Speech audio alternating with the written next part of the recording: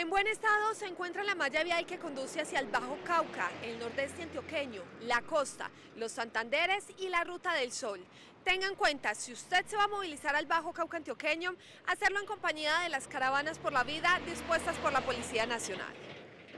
Aunque el flujo vehicular por la mayoría de estas vías está normal, en el Bajo Cauca la situación de movilidad es compleja, debido a las protestas de mineros que no cesan en la subregión. Por ahí por otra parte, que busquen por la parte de Urabá o por aquí por, sí, por Urabá, tiene que ser por Urabá o por Puerto Berrío, pero por ahí que no se meta nadie.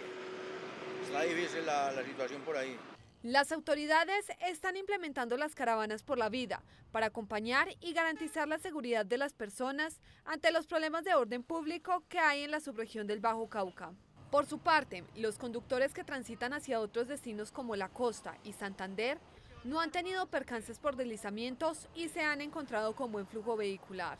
Actualmente está bien, ya le repararon unos hundimientos que tenía allá abajo. Sí, mucha policía.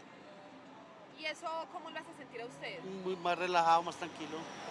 Sí, por la seguridad. En los seis ejes viales del departamento hay 400 uniformados para garantizar la seguridad de los viajeros. La policía también hace presencia en Girardota, municipio que ya comenzó a recibir la llegada masiva de turistas. La programación para esta Semana Santa es variada en el Santuario del Señor Caído.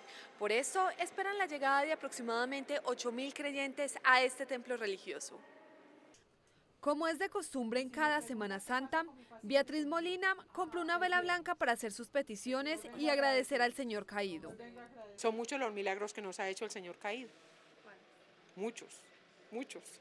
Por ejemplo, que mi hermano ahorita esté limpio de, la drogadicción y una de las tías que tenía cáncer, también la trajimos donde el Señor caído y lleva dos años sin ningún problema con su cáncer, está tranquilo.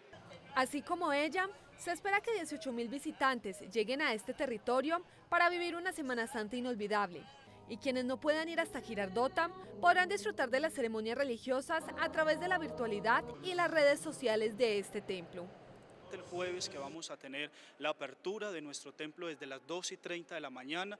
Tendremos Eucaristías a las 4 y 30, 6 y 30, 8, 10, 12 del día y Eucaristía solemne a las, 2, a las 4 de la tarde. Tendremos la Eucaristía del lavatorio de los pies y a las 9 de la noche la procesión también.